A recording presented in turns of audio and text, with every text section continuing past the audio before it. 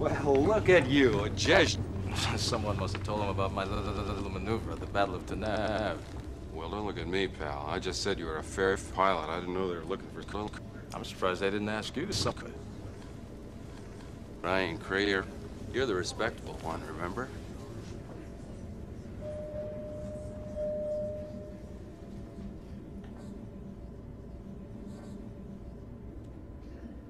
The Emperor's has come. Dick was die, die, die. Back, back. You can see it's here, the Death Star, orbiting the forest wolves of Endor. Although the weapon systems on this Death Star are not yet operational, the Death Star is operational. It is protected by an energy shield, which is generated from the nearby Endor.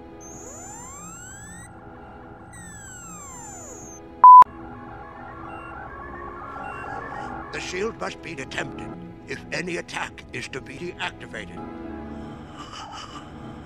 Once the shield is down, our cruisers will create a fighters while the perimeter fly into the super and attempt to knock out the main reactor.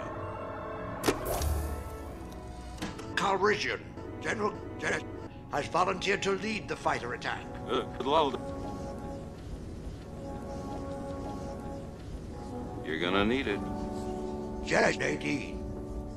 We have stolen a small Imperial Shahashtal. Disguised as a disguised and using a secret Imperial code, the moon will land on the strike team and deactivate the strike team. Sounds dangerous. I wonder who they found to pull that off. General Solos, is your strike team assembled? Uh, my team's ready. I don't have a command crew for the shuttle. Rough, pal. I didn't want to speak for you. That's one. Judge, count me in. I'm with you too.